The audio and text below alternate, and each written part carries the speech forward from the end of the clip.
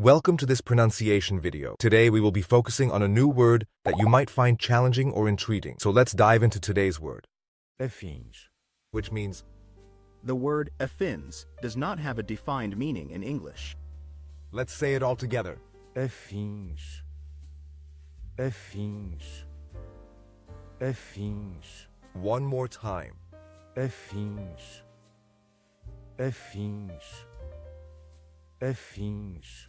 Thank you for joining us on this adventure in pronunciation. Remember, language is a journey, not a destination. Keep exploring, experimenting, and expanding your linguistic horizons. We'll see you next time.